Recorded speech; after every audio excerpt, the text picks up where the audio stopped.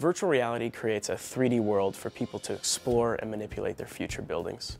At Balfour Beatty Construction, we're using virtual reality technology to revolutionize how people experience the construction process, allowing us to show them step by step how we deliver their dream.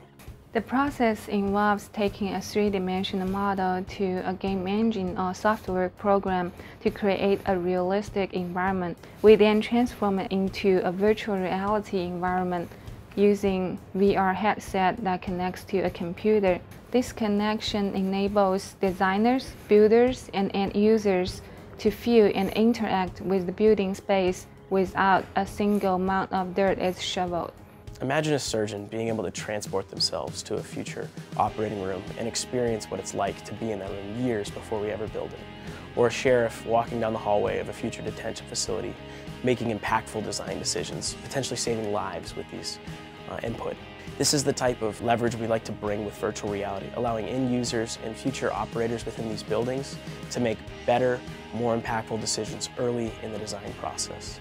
Virtual reality allows us to speed up and optimize the feedback we get during the design, ultimately leading to happier clients. In the near future, we're going to be leveraging it for collaboration, training, safety. The future of this technology is extremely bright, and we're just getting started.